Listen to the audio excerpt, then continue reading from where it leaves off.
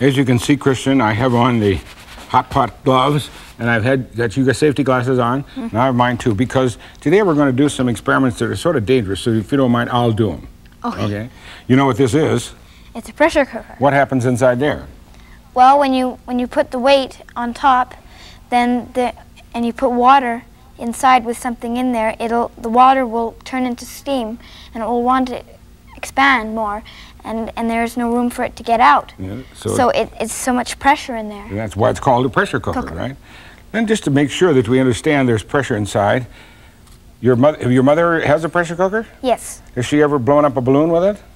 No. Probably not, no. Okay, but you see, there's ordinarily there's a relief valve in there, but I'll put that balloon on the top. And then you, then we said we needed a weight. Wait to to stop all the leakage. Ah, it's beginning. Okay. Now I've had that on low. Do I have Well, to turn it up? Maybe just a tad. Okay, I'll turn up the stove. Now you can see the pressure going up, right?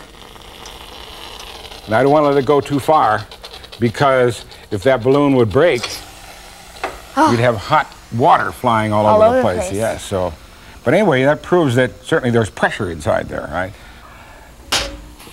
But now let's actually measure the pressure.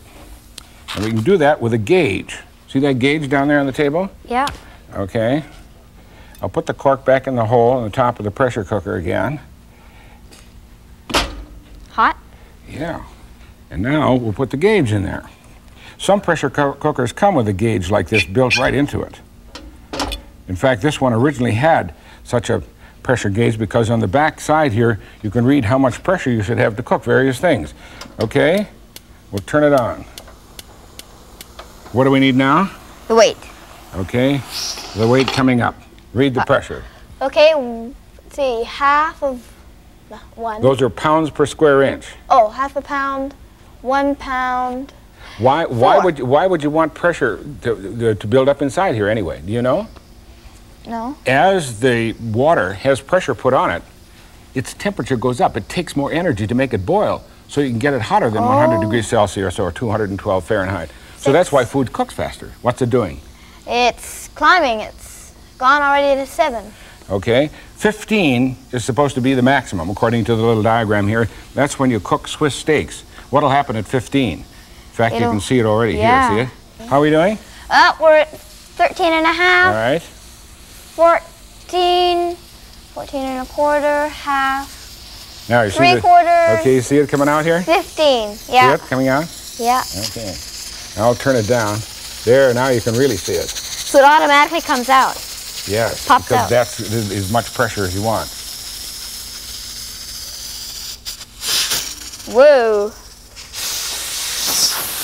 See why I wanted to have safety glasses on? Yeah. Okay, now I have a sort of my own version of a pressure cooker, but it's made out of glass. So come over here. We'll let that cool down. Here's a blowtorch, and here's a container that I'm going to use as a shield.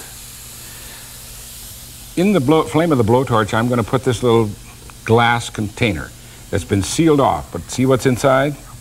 That looks like water. Water. Yeah, so this is a little pressure cooker. All we have to do is heat it up, and we'll change that water to steam. Steam. What should happen?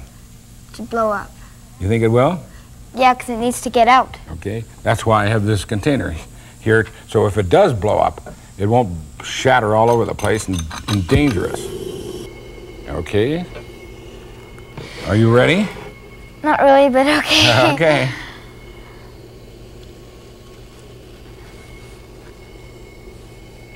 I get it right down there on that flame. We should get it to boil. Any minute, any second.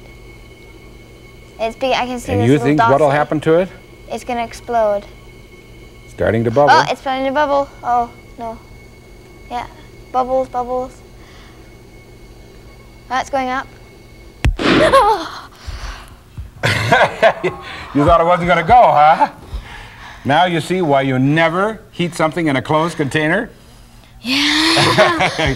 because what happens to it? It, it has to get out. It has to get out. And it could to. be a dangerous explosion. And you see why I did it in this container so it wouldn't you get can see all all this over us? glass and. Okay, that's a little water. Oh, okay, water? well, thank you very much for helping me with a very dangerous experiment.